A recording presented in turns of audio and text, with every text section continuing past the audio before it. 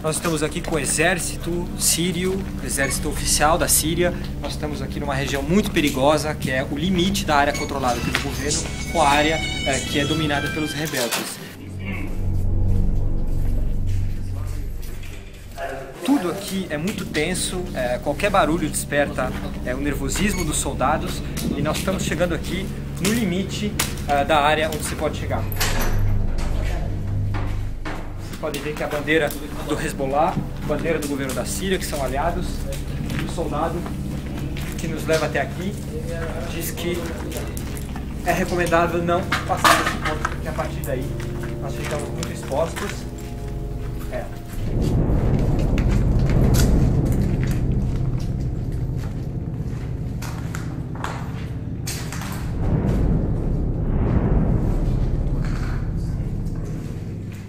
Impressionante a destruição nessa cidade de Talcalar.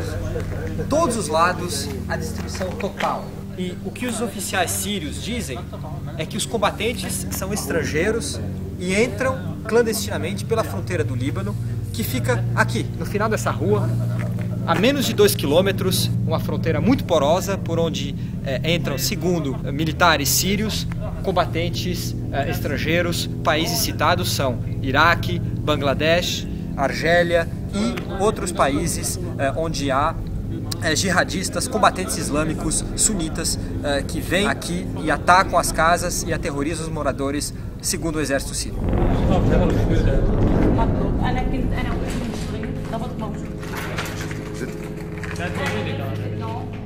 Ça, c'est ça, c'est- la chambre à coucher.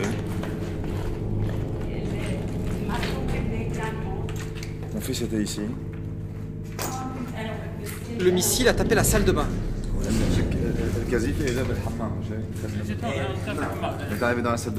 Et lui, il était dans la salle de bain. Et mon